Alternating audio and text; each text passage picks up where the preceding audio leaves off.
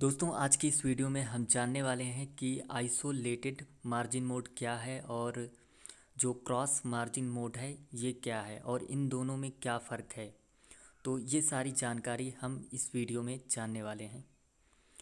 तो दोस्तों, मार्जिन के बारे में आप सभी जानते ही होंगे। मार, मार्जिन का मतलब ये होता है कि जितना भी आपका इक्विटी है, उस इक्विटी से जो मार्जिन बनता है, कि मतलब जितने में आपका जो बैलेंस है, जैसे सौ परसेंट या दो सौ परसेंट तो मार्जिन थोड़ा बढ़ के रहता है। जैसे कि आपका दो डॉलर आपने लगाया है तो उसका मार्जिन तीन सौ के करीब या चार सौ के करीब, उस हिसाब से आपका मार्जिन बनता है। तो उस मार्जिन के हिसाब से आपका जो प्रॉफिट और लॉस होता है, वो जुड़ता है।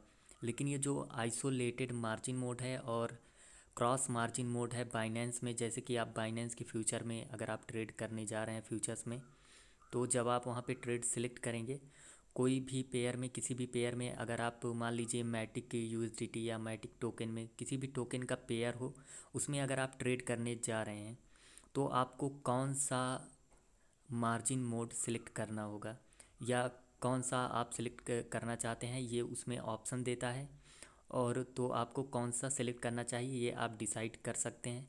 लेकिन जब आपको पता होगा कि इन दोनों में फ़र्क क्या है, तभी आप इस चीज़ को यूज़ करेंगे। तो आज हम इसी के बारे में जानने वाले हैं। तो दोस्तों, वीडियो को शुरू करने से पहले अगर आप हमारे चैनल पर नए हैं तो चैनल को सब्सक्राइब कर लेना और बेल आइकॉन को भी प्रेस कर देना। और वीडियो के डिस्क्रिप्शन में आपको हमारा टेलीग्राम चैनल मिल जाएगा, उसे भी आपको ज्वाइन कर लेना है। तो ये आपके ऊपर डिपेंड करता है, आप करना चाहते हैं या नहीं। तो दोस्तों, चलिए वीडियो को शुरू करते हैं।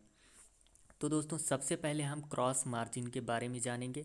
उसके बाद यहाँ पे आइसोलेटेड मार्जिन के बारे में हम जानेंगे। तो क्रॉस मार्जिन मोड में क्या होता है सबसे पहले आ, हम इसके बारे में जानेंगे।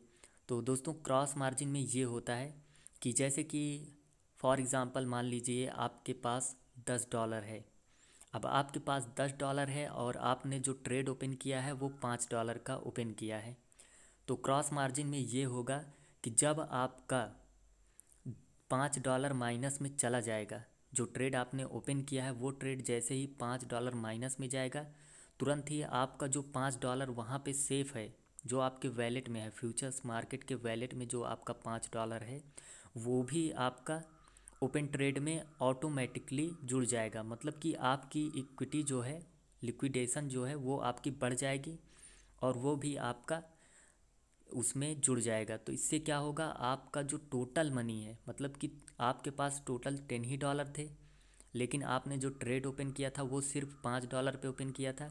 लेकिन रिस्क जो है, वो आपके टोटल मनी जितना मनी आपके वैलेट में है, उन सभी पर रहेगा। मतलब कि पाँच डॉलर माइनस में जाने के बाद आपका जो पाँच डॉलर फ्यूचर्स ट्रेड में है फ्यूचर्स वैलेट में है, वो भी आपका माइनस में चला जाएगा। मतलब कि जैसे कि फॉर एग्ज़ाम्पल मान लीजिए अब आपने जो ट्रेड ओपन किया है वो पाँच डॉलर माइनस में गया तो उसके बाद क्या होगा?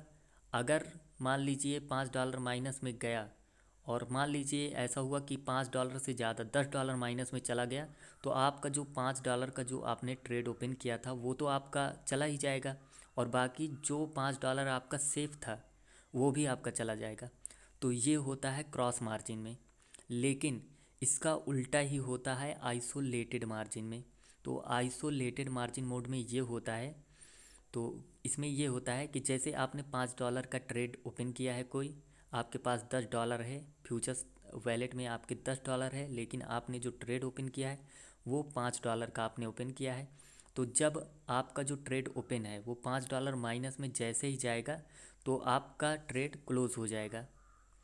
तो आपका जो पाँच डॉलर वैलेट में है, वो आपका सेफ़ रहेगा और जो आपने ट्रेड में लिया था जो ट्रेड आपने ओपन किया था, वो वाला आपका क्लोज़ हो जाएगा, वहाँ से आपका ट्रेड बंद हो जाएगा। तो इससे क्या होगा, आपका जो और जो पैसा है, वो आपका बच जाएगा।